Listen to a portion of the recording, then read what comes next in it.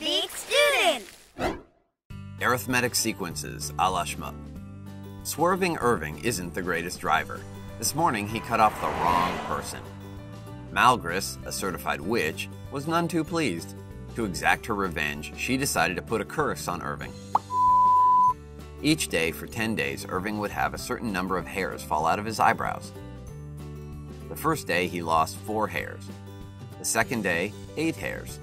The third day, 12 hairs. The fourth day, 16 hairs, and so on. Because Irving's hairs are leaving him at a consistent rate of four more hairs a day, we can say that we are dealing with an arithmetic sequence. Oh, great. That will help me sleep better at night. In other words, you can always add the same thing to get from one term to the next. So, how many eyebrow hairs will Irving lose on day 10? And will he still be able to make his surprised face? To find the 10th term in the sequence, we can use the formula a sub n equals a sub 1 plus n minus 1 times d, where a sub 1 is the first term of the sequence, d is the difference between any two terms, and n is the number of the term we want to find. Here we know that a sub 1 is 4, since Irving lost 4 hairs on day 1.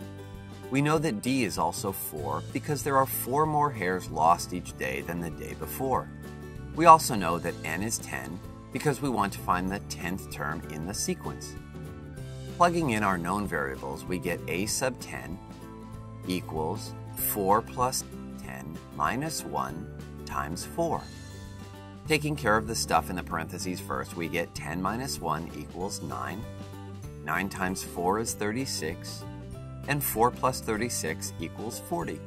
So our 10th term is 40. On the 10th and final day of the curse, Irving lost another 40 eyebrow hairs.